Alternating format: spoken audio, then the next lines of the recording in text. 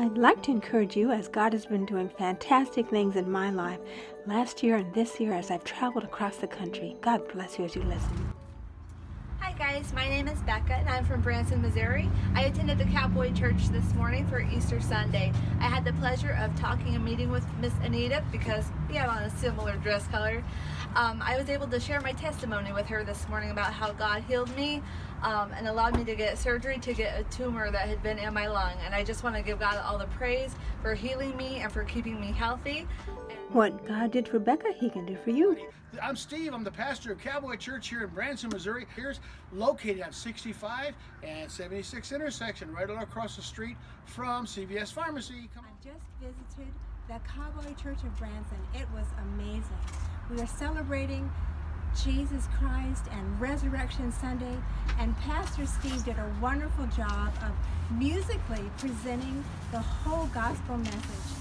Pastor Steve, thank you so much for doing that. I'm glad you showed up. How did God give you that inspiration? Was it something you planned a long time ago, or was it just today? It was about four years ago. He gave that idea to me, and we tried to do it, and we succeeded every year. So you know, I think that music really touches the heart of people and it it's really an international language. And sometimes people don't even understand the language, but they can hear the music. Isn't they that can the case? feel they can feel the anointing yes. that God puts on a person. Yes. It really does. You know, it's funny because when I was born, I was um, a cesarean and I was in an incubator. My mom said that mom and dad went in and I was in the incubator singing. and I've been praising the Lord ever since. And I just love to worship Him. You know, the Bible says that everything is musical. The frequency of life is even in the rocks. When Helen Keller said that she could hear the frequency in a rock, it's the truth because the Bible says even the rocks will cry out if we don't praise Him. So Amen. we don't want that to happen, do we? Right. We want to praise Him. Amen. We want to keep going. So the message is make it a fresh new day and praise God every single day, and then He will give you the way to go, and He will always make a way. He's Amen? got the way. Amen. God bless. At a Bible study cruise, Mike Schuler had this to say. Hey, this is Mike. God's been good to me this week. Uh, it's been teaching me how to trust in Him, and with that, I'm truly grateful. On the same Bible study cruise, Ron Odell had this to say. I really like witnessing. But you know what I found out? People really don't care how much I know, but they really do know how much I care. I love being the feet of Jesus and letting people know how much He cares for them. He cares for you too. Hi, I'm Anita Wardlaw, and welcome to A Fresh New Day. This is a brand new opportunity to go forth and have victory for you in 2022. I'm working on new projects myself. I'm pursuing my doctorate degree in theology. Amazingly, also, it's now four years since my heroic husband Howard passed to heaven. Yet my son and I grow stronger every day. And I am teaching, writing a book, leading prayer, and I'm so excited about what God has in store for you and me. And I have a new message for you that I believe will bless you. Stay tuned. Here we go. Hi, friends. Welcome to another episode of A Fresh New Day. Today I'm actually in Indiana and I'm learning more of the Word and I'm sharing the goodness of Jesus Christ as well. You know, so many people talk to me and they have questions. I was just ministering to a lady the other day and she had questions about all the things that are happening in the world. Rumors of this and rumors of that and rumors of this. You know, friends, we can rest assured that God is a good God. He's faithful. No matter what you're going through, if you put your eyes on Jesus, you can get through it. Yes, there are tribulations on the earth that people go through, but if we put our hand in the hand of the one that made us, then we will see the light on the end of the tunnel. You know, it says in Second Corinthians, I mean First Corinthians, uh, chapter 2, verse 9, that I have not seen nor ear heard, neither has entered into the heart of man the things which God has prepared for them that love him. Have you ever been a little kid on a long road trip and you said, Are we there yet, Mom? Are we there yet, Dad? Are we there yet, teacher? And she just said, You have to wait. You have to wait. We'll get there. We'll get there. You know, so it is. As adults, sometimes we have to just wait upon the Lord because I have not seen nor ear heard, neither have entered into the heart of man the things which God has prepared for them that love him. You know, I went to the Ark Encounter today and Noah worked on the ark at a time when rain had never been seen on the earth before.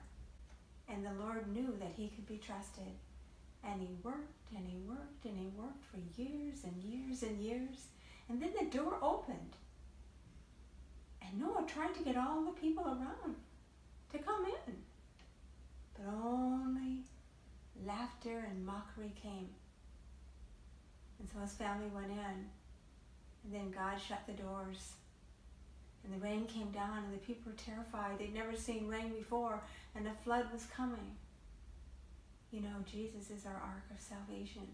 If we turn to Him when it's the hardest, when we're going through the worst things, trust me, God will provide. He will provide. You may not understand, but He's got light in the end of the tunnel. He said, the Lord said, blessing and cursing is before us. And He told us to choose life and that we can have what we say. If we say, My God will supply all my needs according to His riches and glory by Christ Jesus, then that's what we will see in the end of the tunnel, even if we don't understand. But it calls for perseverance. Can you imagine 40 days in a boat? But in the end, there was light. There was a fresh new world to start over again. Friends, you can always have a fresh new day in Jesus no matter how far you think you've gone. If you turn it over to Him, He will show you the way. I just want to encourage you today. No matter what you see, no matter what you hear, no matter what kind of pain you're in, what kind of mistakes you've made, there's a God that loves you. Put your hand in the hand of the man that loves you. And it can be a fresh new day for you. I just pray a prayer over you, all that are listening. Be at peace. Shalom. May God bless you and calm your fears today. May He calm your heart and stir within you a hope that it can be a fresh new day If you don't know this Jesus that I'm talking about, just say, Lord, help. Jesus, I accept you as my Lord and Savior. Forgive me for everything I've done wrong and help me to have a fresh new day in you. I love you. God bless you. And I'm praying for everyone that's watching my program. God bless you and have a fresh new day.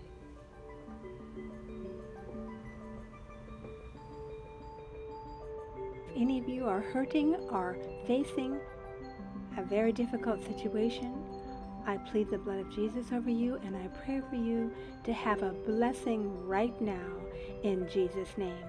God cares for you more than you can realize.